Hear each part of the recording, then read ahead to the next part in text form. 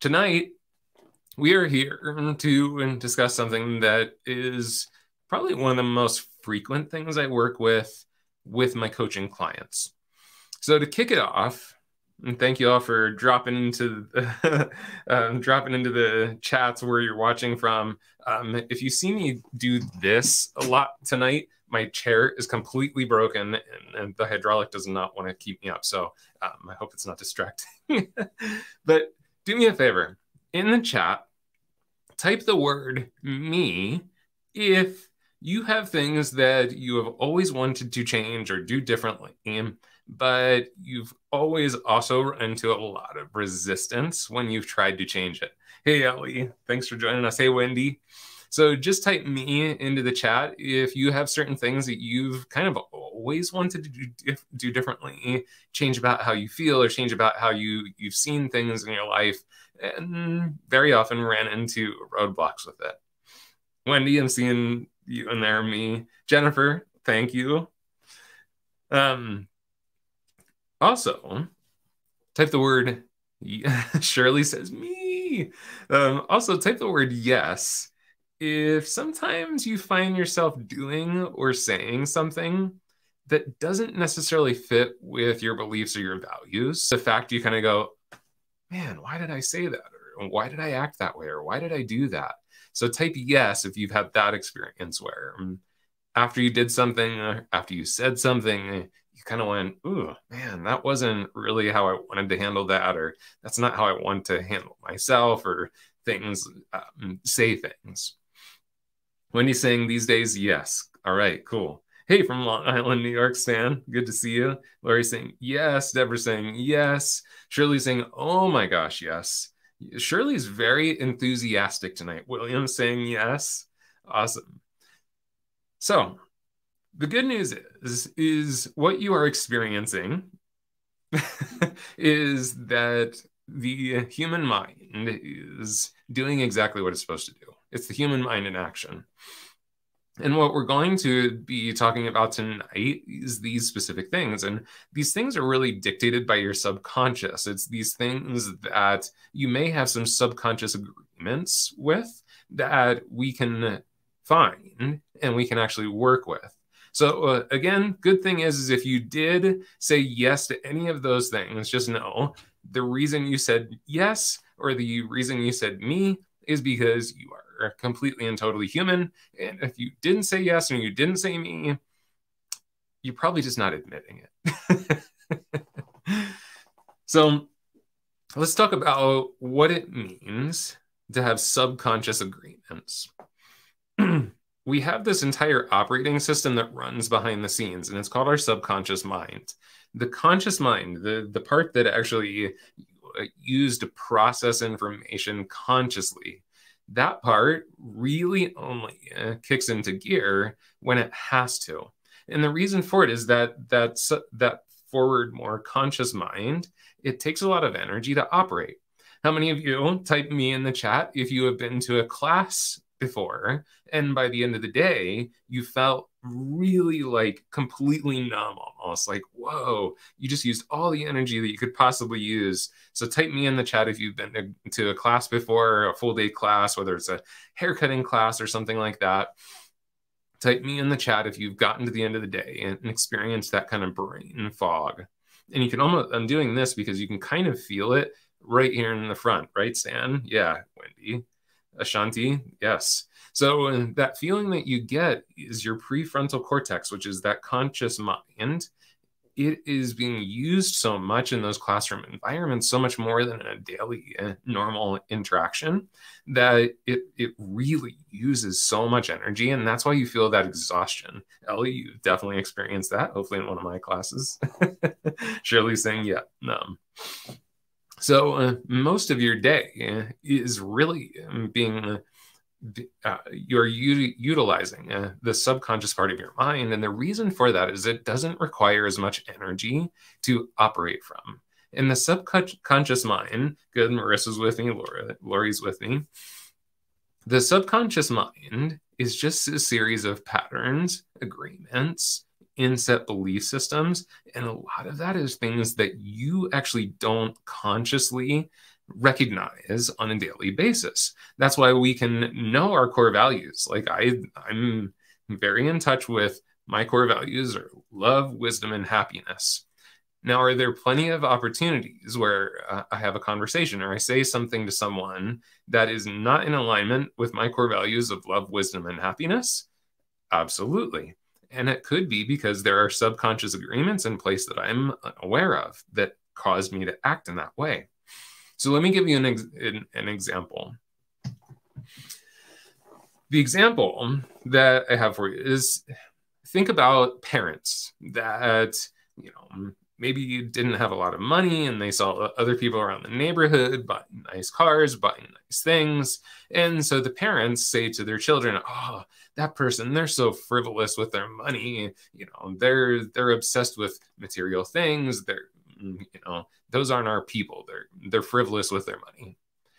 So as a child, what I'm picking up during these conversations that my parents aren't necessarily trying to specifically teach me is what the subconscious is picking up is oh when people spend money on things that my parents seem deem frivolous like cars or jewelry or clothing or houses they don't receive my parents love.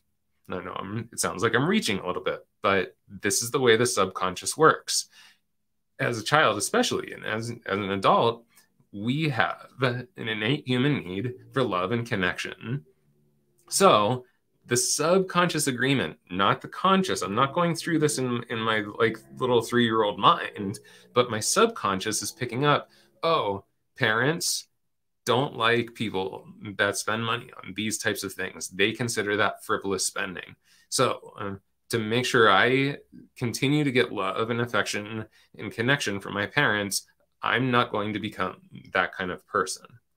That subconscious agreement gets written into the pattern in our brain. And then years later, we're, um, you know, at the grocery store looking at, you know, the different prices on the shelf for, for canned tomatoes. And we're going, oh, I don't know, that organic one, that that's, it's $2 more. That's a frivolous expenditure.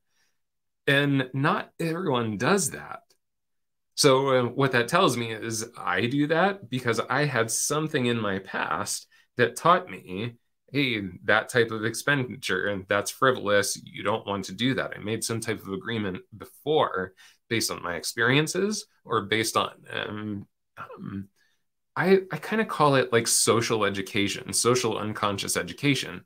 Because, like I said, it's not like the parent was kind of sitting down with the purpose of, hey, you know what? I'm going to teach you uh, to hyperanalyze every uh, purchase you make in the future. That was not their intent. That's not what they were trying to do. But the kind of unconscious education that came from it was, oh, you know, to maintain love in my life, I have to make sure that I don't spend too much money on frivolous things.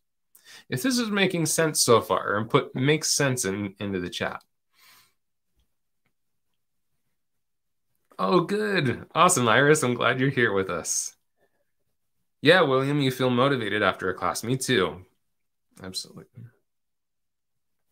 Yes, yes, yes, Jennifer. You're saying not really from a class, but if you socialize too much in classes all day, and um, if you socialize too much, that's maybe where you feel that numbness in the prefrontal cortex as well, which is great because what that says is that you are engaging the prefrontal cortex when you're when you're engaging with people. Cool. We're good. We're good. So um, a lot of what I do as a coach and what a lot of coaches do is we try to find what are those subconscious agreements and what are those subconscious belief systems that are affecting how we perform our daily life. So, um, these things, like I asked you in the beginning, are there certain things that you want to change because it'd be a good thing to change? I want to eat healthier. Let's just use that as an easy example because I think a lot of us feel that way. But we still find ourselves eating junk food. We still find ourselves not buying the right things at the grocery store. So why are we doing that? And the thing is, is it could have a lot to do with subconscious agreements we have with ourselves. Um, I just had a clone. okay. So these the the book that really made this clear to me was this great book called The Immunity to Change. And Katie and we'll pop that into the chat for us. It's called The Immunity to Change. It was written by uh, Lisa Lahey and Robert Kegan. And this was a really incredible book that opened my eyes to a lot of things because what they did is they really studied why the body and why the mind has this immunity to wanting to change. yes, Jennifer, cookies do taste so good, and we should have them once in a while, right? And so, well, what Lisa Lahey and Robert Kegan did is they studied what are those resistances, and they found that a lot of it came down to these subconscious agreements and commitments that we have that, like I said, they're subconscious. That you are not conscious of these things. So we keep running into these walls, but we call ourselves lazy. Oh, you're just being lazy that you're not eating healthy. Oh, you're just being lazy because you don't make this change in your life. When really what we're up against is things that are quite literally imprinted resistances to what might happen if we did those things. And so we're going to go through this because this I think this is really going to bring a lot of clarity into a lot of you. Let me bring this up on screen for you all to see. So um, this is the model that they created to address this immunity to change. And we're going to go through this step by step. So if you have a piece of paper close by and you want to go through this, grab a pen, grab a piece of paper. I'll give you a minute to do that. Um, but we're going to go through this piece by piece, and you are going to take something that you want to improve. It's some type of commitment that you have to improvement in your life, and you're going to go through this with me. I'm going to use my own examples just to give you the example, but you can do anything with this. So um, maybe you might use I want to eat healthier. I want to um, be a better listener. I want to exercise more. I um, want to have better self talk. So think about what you might want to improve on that you're committed to improving. Commitment is a good word, Wendy. Yes.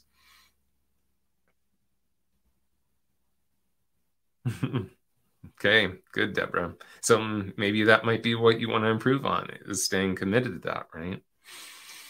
All right, so here's what this looks like. In this first category, where it says improvement commitment, what you're going to write in this category is what it is that you want to improve. So um, I'm going to use something simple and again, something that probably most people can kind of relate to. I'm just going to use I want to eat better. But again, you can use this for things that are very, very serious to you as well. Um, I want to uh, increase my prices. You know, a lot of you watching tonight are hairdressers, and I know that that's something that people run up against really often is that resistance to doing the thing that they kind of know they need to do, which is maybe um, uh, raise their prices. So you might put that there in that that first column, but mine's going to be eat better. So go ahead and place that into that first column. Yeah, you know what, Jennifer? That's something that a lot of people run into too. Jennifer says, I want to improve so much. and that can be really overwhelming. So just choose one. And, you know, maybe it's time to take a bite sized chunk. Yes, Ashanti, you are worth more. Absolutely. So um, in this next column here, the doing and not doing instead. So this is very much exactly what it says. What are you doing or not doing instead of the thing that is here in the first column? So this col column is what are you doing instead of this? Got it? So um, I might put in that column, I'm eating junk food. I'm drinking beer. so, in the doing and not doing, instead, it's listing out all the things that I might be doing or not doing instead of the thing in column. So, um, just take a second with whatever you're working on for yourself and put things into the doing and doing instead. So Lorraine's saying, I want to improve respecting boundaries, and word vomiting might be one of the things you're doing instead of respecting boundaries. Good. I love it. Perfect, perfect. Those are good things. Ashanti, are you laughing at me because I'm eating junk food and drinking beer? I can see Katie in the background too that works with us, and she's chuckling to herself. Um, but so doing and not doing. So then the next phase that we go to is over here, which is we start to look at hidden competing commitments. So this is what this means. My conscious commitment that I want to have is what I want to improve. I have a conscious, I want to be committed to eating better. But what the hidden competing commitment is, I have some other commitment that is stopping me from eating better. Does that make sense? That's what we're going to look at now. So within that hidden competing, competing commitment, the first thing is right here, the worry box. So this is really simple. If you go to column two, ask yourself what you would be worried about if you did the opposite of that. What would you be worried about if you did the opposite of what's in column two? And I know that might be a tricky question because, you know, again, we look at, okay, well, you want to eat better. So why would you be concerned about something happening bad if you didn't eat junk food or you didn't drink beer? But that's part of what is creating the commitment. We're concerned about that. That's right, Jennifer. There are beers out there that aren't that bad for us, right? so in that worry box, I might take this one, the eating junk food, and I might say, okay, well, what is it? Let me kind of dig in. Let me be honest with myself. What is it that I'm worried about if I did the opposite, which is stop eating junk food? Well, I might be worried about not enjoying hmm, food. If I stop drinking beer, I might eat, feel my stress more.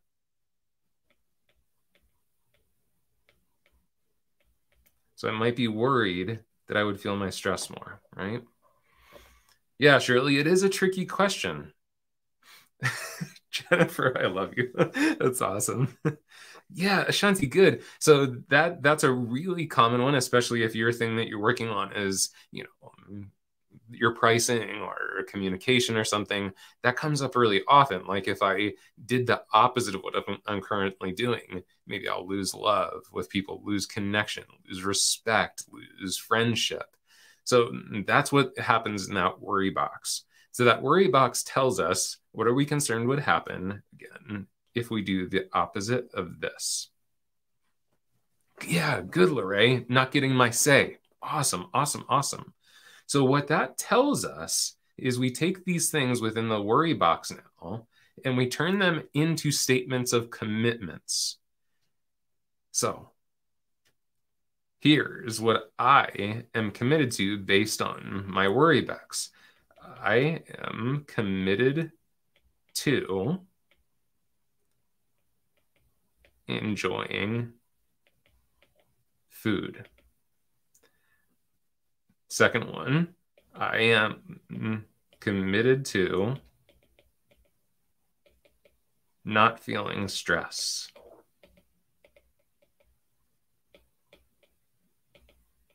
Is that making sense?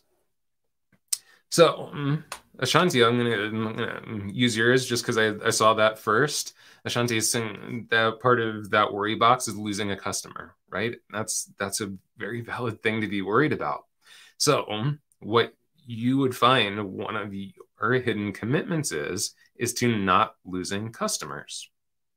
Cool. That that just shows me a commitment. It's not that these commitments are good, bad, right, wrong, anything like that. It's just starting to expose to us these pre-existing uh, subconscious ag- agreements that we have or commitments that we have that we were not aware of before. And again, it's really important to um, not judge these things as good, bad, right, or wrong. It's just seeing them for what it, what it is. Uh, good. I'm glad it's good timing, Deborah. That's awesome. Good eye opener, Shirley. Um, sorry, I'm just trying to keep up with your comments too. And thank you for being so interactive. This is great. So once we get here, now we have to start to look at what are the assumptions based on these agreements. So um, my big assumption, again, let's just go to um, I am committed to enjoying food. So on now I recognize that, hey, there's a part of me that really loves to enjoy my food. Nothing really wrong with that, right? But here is where the big assumption comes in. Because what I'm assuming is that if, sorry, I'm going to write it so you can see it on screen. If I stop eating junk food, I will no longer enjoy food.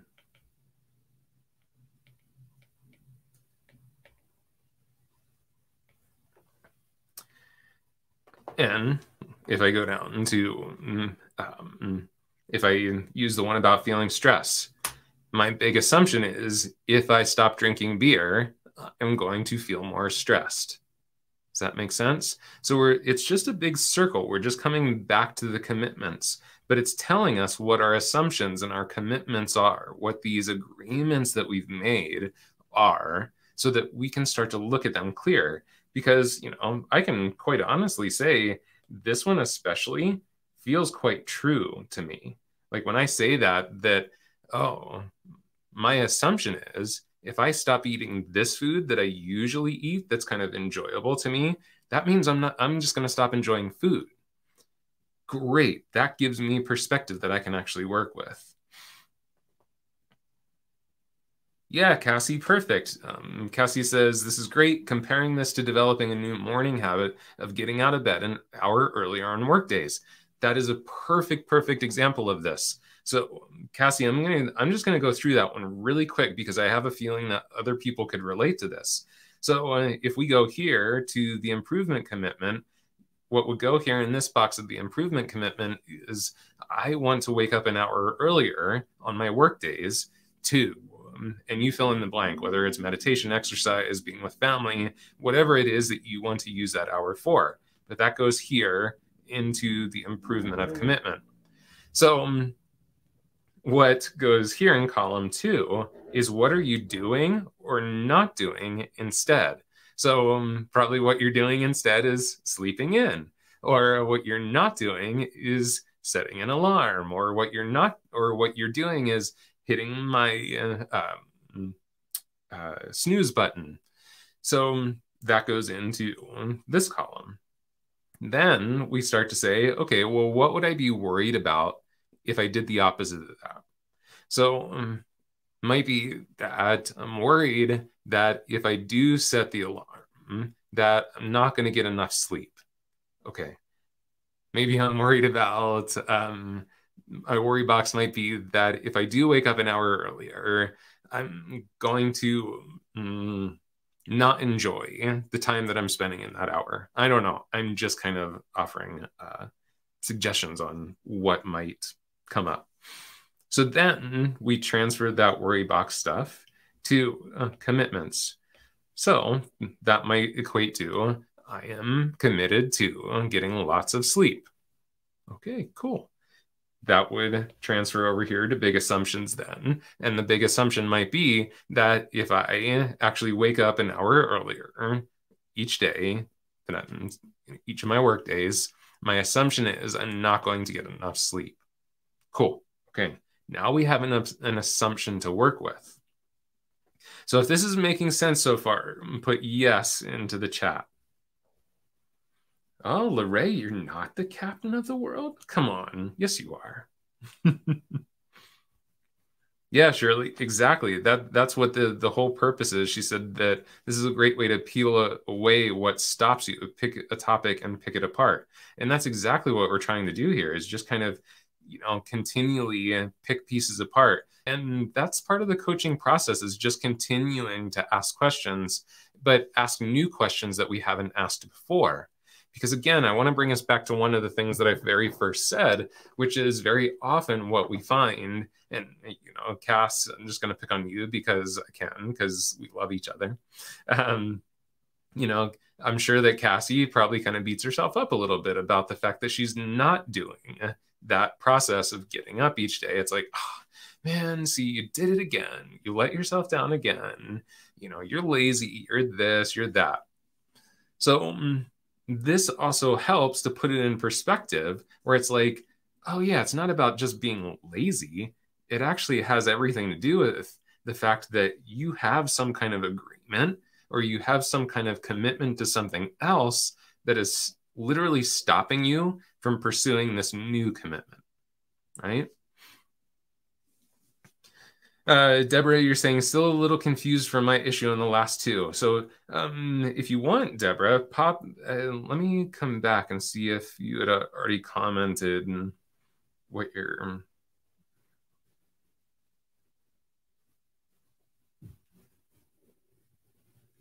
Deborah, do me a favor. Just pop into the chat. What is your improvement commitment? And give me an example. Give me one of your doing or not doing instead. Okay. So I'll, I'll keep going, but just pop that into the chat so far. Like, what is your improvement commitment? And give me just one of the things that you're doing or not doing instead. Jennifer, and that's the thing. That's what we like to tell ourselves is I'm lazy and I'm a procrastinator. Well, just telling yourself that you're lazy and a procrastinator doesn't really give you anywhere to go, does it? So, my suggestion would be to let go of that because the other thing that telling ourselves that we're lazy and we're a procrastinator does is it keeps us comfortable in the stuckness. Let me say that again. It keeps us comfortable in the stuckness because when uh, we talked about this in the beginning, one of the things that the subconscious wants to do is to keep you as comfortable as possible and as safe as possible. And change can be scary to the subconscious because it's already comfortable with the discomfort that you have. So it's more comfortable with continuing to kind of tell yourself, hey, you're lazy and you're a procrastinator, even though it feels like crap. It's comfortable with that discomfort because you've done it long enough that you kind of know how to deal with it. It's like, well, I can kind of put up with this. But what it's uncomfortable with is what would you be afraid of if you stopped telling yourself that you're lazy? What would it be afraid of if you stopped telling yourself that you are a procrastinator? If you did the opposite of those things, what would you be concerned would happen? That's the fears of the subconscious. That's where we're getting into those hidden competing commitments in here, right? And so we also have to be willing to let go of those things that we've told ourselves all that time, too, right? Okay, cool. So I'm going to come back to Deborah here real quick. So Deborah's saying that in uh, the first column, Deborah has. I'm just going to do it. Do this real quick with you here, Deborah. In the first column, you're saying confident about prices. So that's the improvement that Deborah wants to make is to be confident about that pricing, right?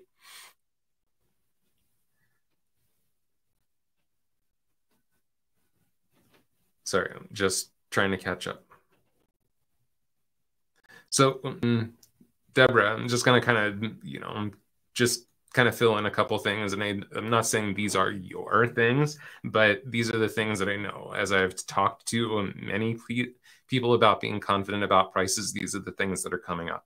So uh, instead of being confident about prices, what you're doing or not doing eh, might be uh, I'm, um, you know, I'm negotiating pricing. I'm not raising prices consistently.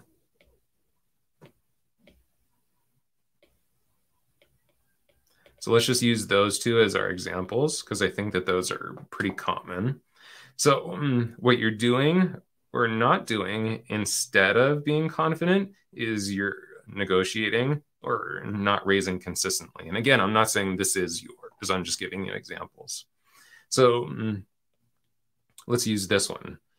If if I think about what would be worrisome about negotiating or not negotiating my prices and staying true to them, if I stayed really true and I wouldn't, I, I never would negotiate with any client, what would I be worried about? That's what goes into this first box. So it might be as simple as like, well, I'm worried that I might lose a client or I might lose the respect or the connection with my client. Because you know we as hairdressers we build these really tight relationships with our with our clientele. So um, yeah it would be absolutely i think that's a really common worry when people are um, not sticking to their guns with prices is that they might lose their relationship and that is important to people so let's use that as our example. So you you would put that here in your worry box. I'm worried about losing the relationship if i stop negotiating. So the hidden competing commitment down here would be that I am committed to not losing relationships.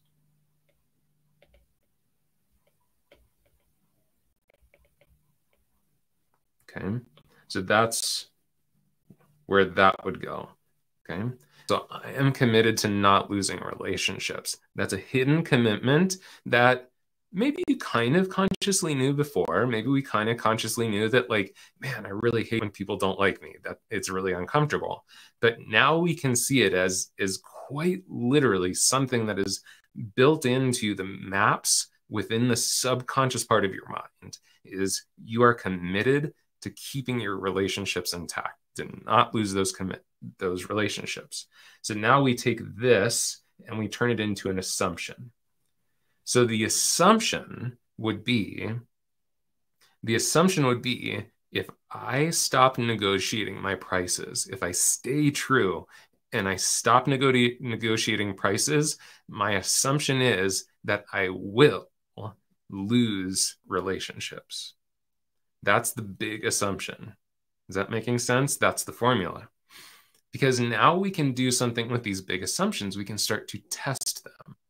And that I really like that when they wrote the book, they called it assumptions because that's what these things are. They're the stories that have been created over time based on our experiences and based, based on what we have seen out in the world. And there could be a situation there that if if we thought back in our history where we did see someone lose relationship or lose connection with another person based on money right? Maybe it wasn't our particular situation. Maybe it wasn't about like a hairdresser or um, someone offering a service but maybe somewhere along the line we saw relationship relationships deteriorate when money started to be discussed so if we saw that, especially in the formative years, awesome, Deborah. I'm glad you're getting it. If we saw that, especially during the formative years of our life, it creates those subconscious agreements back there that, ooh, when people talk about money openly, relationships get lost. So then that puts me in the position to make a, these big assumptions that, well, if I talk about money with my clients, that I'm going to lose the relationship kind of cool, right? I mean, not kind of cool. It's not great, but it's really neat how this stuff. Yeah, I love it. Ashanti just said, ah, yeah. And so when we see these things for what they are, sometimes even just getting to the place of seeing the assumption for what it is is enough to start to shift our belief systems and start to shift our thinking. Ashanti says, mind blown. good, Simone. I'm glad that this is this is good for you. Good, Marissa. I'm glad you're loving it too. So I missed, uh, I just want to check because I did miss a few comments here. Yes, exactly, Ellie. The subconscious builds an image that makes us believe that that is how we need to operate daily. Perfectly said there, Ellie, because that's exactly what it is. And that's why it feels so true, is because the image is built, the vision is built, and it feels so true that it's really hard to not act that way, right?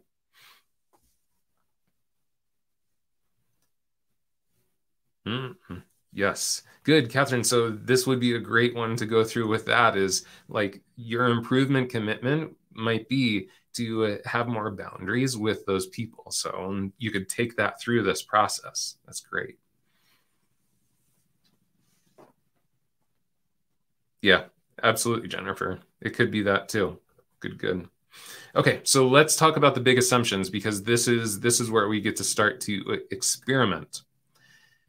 The important thing is now that we understand that my big assumption. Let me come back to the one. The well, actually, I'm going to stick with this pricing one because I feel like it's it's probably uh, more uh, current for many of you.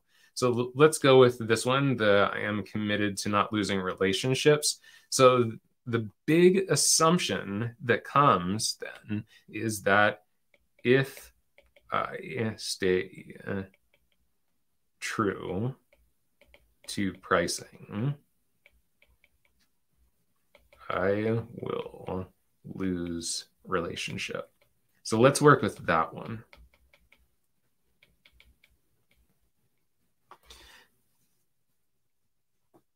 The way that we change perception is to give better facts to the subconscious. We have to feed it new information because that's where it came up with this in the first place.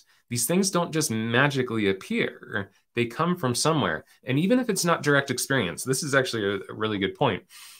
Even if it's not direct experience, it could be eh, just watching the messages on social media the types of news we watch, the television shows we tend to consume. Um, all of this stuff, the subconscious is kind of picking up on the periphery.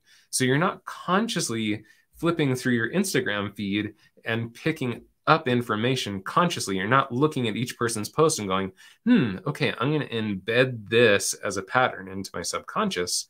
But your subconscious is always on 24 7. It's always picking up this information.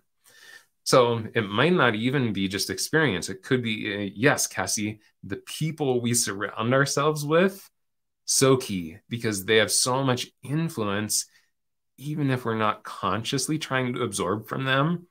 If we're constantly around them, it's almost impossible to not take on some of their belief systems.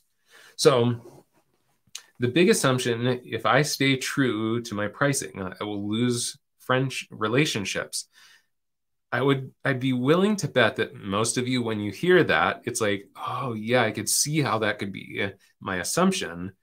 I would also think that most of you probably go and I kind of know that that's not true. Like on a logical sense you kind of know that for the most part is there the potential for it? Maybe.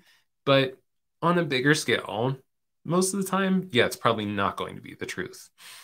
But that's the conscious mind. So, what the subconscious needs is new experiences and new lessons. So, this is where experimentation comes in. We have to give ourselves some type of experiment to try so that we can explore further into the assumption. So, if, if my assumption is if I stay true to pricing, I will lose a relationship it might feel scary to run into the salon the next day, raise prices, and stick to it across the board. So it might be that the experiment is you choose a few people and you say, you know what? I, I've been pretty lax with these one or two people. These one or two people, I'm going to stick to my guns. I'm going to stay with my pricing. I'm not going to discount my pricing with these two people anymore. And I'm going to see what happens which I know is still scary because like the risk is even, you know, the, the thing that's scary to us is risking even one or two clients, right? But this is where courage also has to kind of come to the forefront because we have to take some courageous steps to test these assumptions. But what happens is with that first client, and we, you know, get the courage up, like, you know, I know I know that I've been discounting your services for a long time. I do have to stay on track with my current pricing. So the next time you come in, here's going to be your pricing. That's going to take a lot of courage to do on that one client. But when uh, we do it and we get the response of, oh, yeah, okay, cool. That's not a big deal. Sweet okay, that gives us some kind of reinforcement then that the subconscious recognizes that the worst case scenario didn't come true. The worst case scenario story that it wants to tell us isn't going to be the truth. So that's where we have to start experimenting. And let's, you know, just jump up to the, the kind of simple one up here. If I stop eating junk food, I will no longer enjoy food. Pretty easy way to test this assumption. I just need to have the courage to say, okay, for the next three days, I'm not going to eat junk food and I'm going to try to find other things that I enjoy eating. Great. This way I can test this assumption. And I might find things that I'm like, oh, actually, yeah, I still really enjoy this food, which helps to satisfy that subconscious need. So that's where we have to go into the experimentation place. Yeah, seriously. Um, I was just seeing Shirley's comment in there. Um, sorry, I'm just going back through comments to make sure I didn't miss anything specifically. Yes, and Lorraine, this is also where the positive affirmation thing comes in too, is because we have to start telling ourselves a new story consciously. So, like I said, the subconscious learns from our experiences and the things that we're picking up within our environment. So, uh, let's feed the subconscious what we want it to believe. So it does actually work those those positive affirmations like I am worth what I charge. I am worth what I charge. When I charge what I'm worth, people appreciate me. When I charge what I'm worth, people stay connected to me. It maintains relationships to value my work. You know, whatever it might be. But we're replacing the old chatter with with new scripts. Exactly. Yes, you got a neck. You got a couple three day test, Ray. Very cool. Very cool. Uh, mm, let me check on Catherine's here. Thanks really. My life to actually work on reaching out to the right person or people to figure out what would be a great idea for my next adventure. Very cool. Yes, Catherine. And if you ever need need anything from me, you're welcome to work. Reach out to me. Uh, Cassie's saying, Andrew is saying how outside influences subconsciously influence us. If our goal is to be confident in our pricing and we're surrounded by people with confidence that stick to their pricing, they will have influence on us as well, vice versa. Yes, good point. I'm glad you brought that up because it does work in the opposite way as well, in a really powerful way. You know, luckily, Cassie, you, you work in an environment that that's very promoted too. Yeah, William, absolutely. If you raise your two two clients, leave, do the price increases, you balance out, same money, less work, absolutely. And that could happen too, William. I'm glad you brought that up because let's say you do raise the price and the experiment proves that someone does leave because of your price raise. Now that kind of hurts because it almost proves our assumption but then we need to check in on the assumption again. We need to check in on what the purpose and what the goal is. So um, the challenging thing is that if we're going to step into experimentation, we have to be open to the new information. The other challenge is, is to not let new information that comes in and be like, see, I told you, I can't raise my prices because that one person left. It's like, okay, I guess I have to try this again and see what happens. And if I keep having the same result, let's say I do raise my prices on three or four people and three or four people leave me, then I need to come back and I need to look at things again and say, oh, well, am I being too dramatic with my price raise or am I not am I not providing the value for that pricing? You know, so it's all just information. It's just feedback for us to continue to um, grow and expand. Cool. So, um, Katie, will you pop that link into the chat one more time? Because I know it's pretty buried in there. We're going to pop a link into the chat here for you. That is the, if you go to this link, it is Harvard Business Press extracted this particular part of the book. So it, it actually walks you step by step, again, how to go through that process of column one, what's your improvement commitment? Column two, what are you doing and not doing? Number three, what are the hidden competing commitments? And then number four, what are the big assumptions? And then how to challenge those assumptions. In this link, it actually walks you through someone else's. Um, they what do they call it? Um, they don't call it the map. Oh my gosh, I can't remember what they call it. But as they go through it, it's it's quite enlightening to see other people's process with it too. cool. Thank you, Catherine. thanks for sharing that with me. Yeah, nice, Shirley. I'm learning to say that I'm sorry that they can't afford my prices instead of apologizing for raising my prices. That's awesome. Very cool. That's great. So I hope you all grabbed something from this. Um, I'd love to hear from you in the chat. What was your big takeaway tonight? What's one thing that you can take away from tonight and start to play with? I hope that you'll go to the link and, and um, you can print it out. You can also go to the immunity, to, or you can just put into a Google search immunity to change map. And there's tons of different versions of this but there's lots of them out there that you can print out and you can take yourself through this in so many different directions. So i do appreciate you all being incredibly interactive tonight. I had a blast with you